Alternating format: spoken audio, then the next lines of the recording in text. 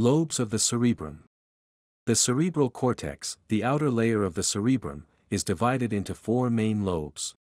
Frontal lobe. Parietal lobe. Temporal lobe. Occipital lobe.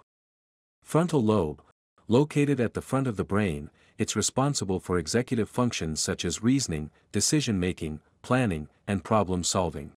It also oversees voluntary movement, speech production, and aspects of personality and behavior.